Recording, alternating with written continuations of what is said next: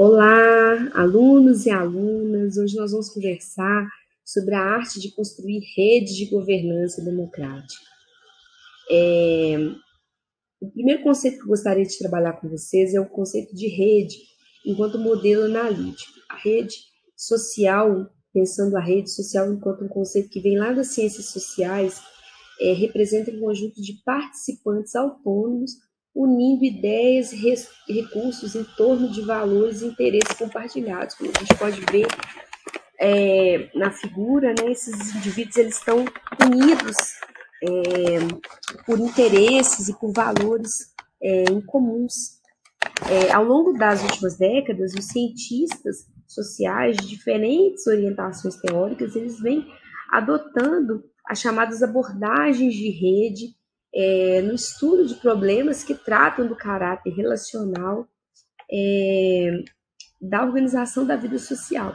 Então, a análise de rede ela pode ser aplicada no estudo de diferentes situações das questões sociais. Outro conceito que a gente precisa é, olhar para ele é o conceito de governança. Como a gente viu nas, na última aula, algumas das narrativas em torno da crise do Estado ela se sustenta em torno da ineficiência da máquina pública. Mas, por outro lado, a gente vai ter uma outra narrativa é, da crise, em relação à crise do Estado, onde nós vamos ver a, é, a elaboração de análises mais sociológicas em relação às mudanças é, no mundo.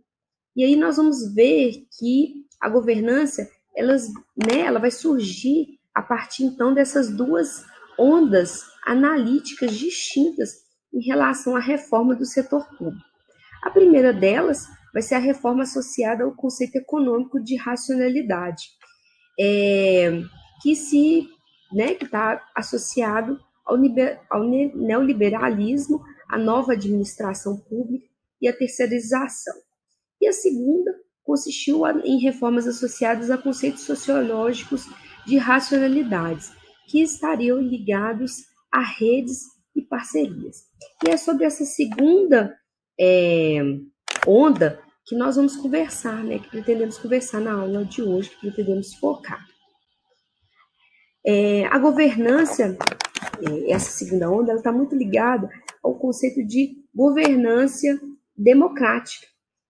O processo de governança democrática ele vai surgir dentro desse contexto de questionamento do papel do Estado demandando do mesmo um novo posicionamento é, no cenário econômico globalizado, né, a partir ali dos anos 80, dos anos 90.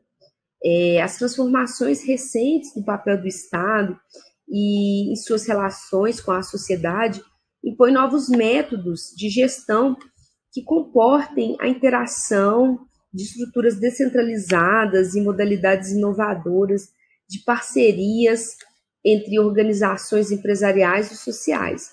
É, no caso da América Latina, é, esse contexto citado, ele vai ser somado ao processo de redemocratização. Nós não podemos, nós não podemos esquecer que, assim como o Brasil, outros países da América Latina, eles estavam vindo no final dos anos 80, no final dos, é, e nos anos 90, é, início dos anos 90, eles, eles vinham de longas ditaduras, né? E esse processo vai contribuir para que para um maior desejo de participação dos povos latino-americanos. Então nós vamos ver dentro desse contexto uma reestruturação é, e aí um desenvolvimento de uma nova consciência cidadã. Então é, a governança é portanto, segundo é, explica o José Maria é, esteve o modo de governar próprio da sociedade de rede. É um modo de, de governar para fazer frente à crescente complexidade e diversidade das sociedades contemporâneas, que se caracterizam pela interação de uma pluralidade de atores, relações horizontais, pela participação da sociedade no governo e sua responsabilidade de fazer frente aos desafios socialmente co colocados. Portanto, governança democrática ela implica a condução do desenvolvimento econômico, tecnológico, em função de valores de equidade, de coesão territorial, de sustentabilidade, ética e ampliação é, e aprofundamento da democracia e da participação política, se relacionando diretamente é, com a proposta de gestão social, que, conforme explica o professor Fernando Tenório, tem ênfase nas relações entre sujeitos autônomos com propósitos não individualistas e voltados para a gestão de organizações solidárias. E aí, a gente vai chamar atenção aqui para algumas características próprias da governança democrática. Entre elas, nós podemos destacar o envolvimento da cidadania nas soluções dos desafios sociais, o fortalecimento dos valores cívicos e públicos. Né? Isso não tem nada a ver, gente, com aquela com ideais de, de, de patriotismo, de nacionalismo exacerbado, mas é de valores mesmo é, é, do lugar, né, do, do, do, espaço, da localidade, é, a revalorização da política democrática, do papel do governo representativo, a construção compartilhada do fortalecimento do interesse geral, a transparência e a prestação é, de, de contas, né?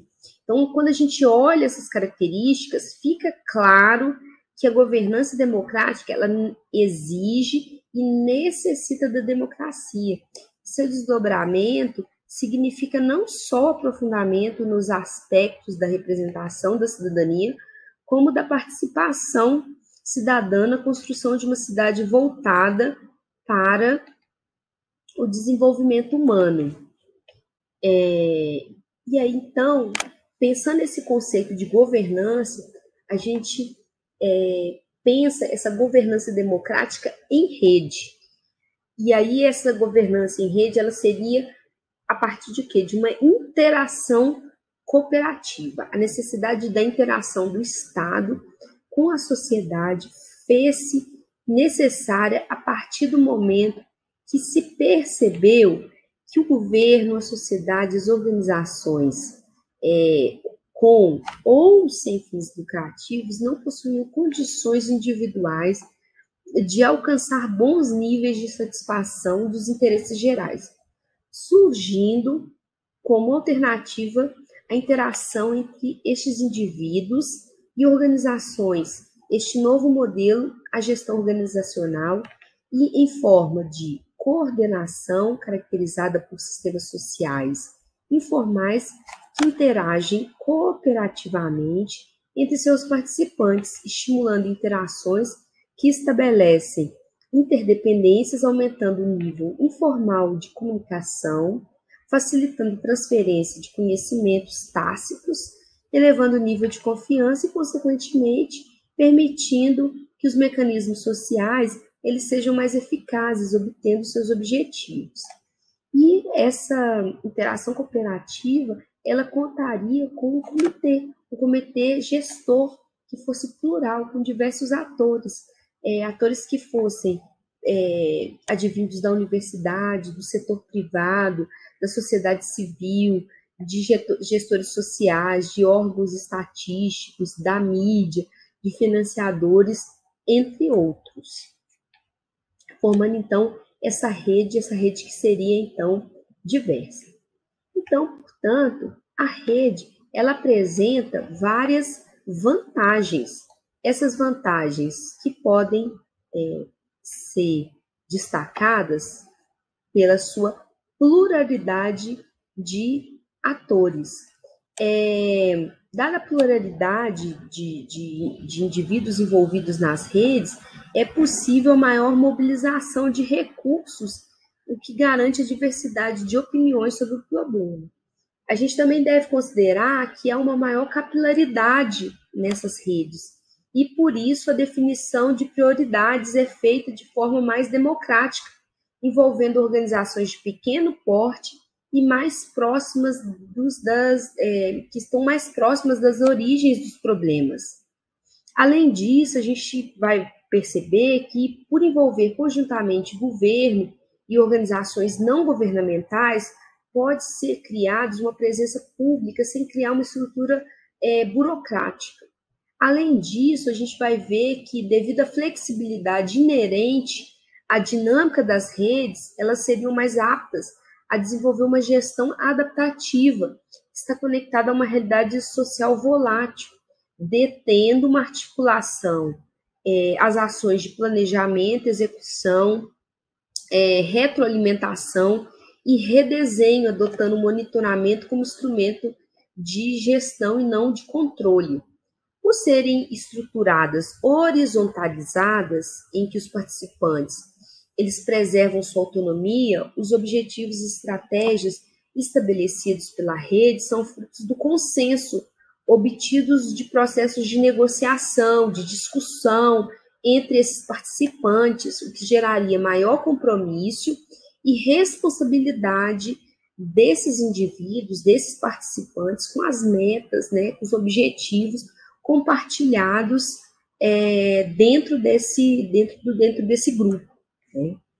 Mas a gente também tem que destacar, né, as desvantagens, né, da rede, né, os desafios que existem para essa governabilidade é, da, re, da rede.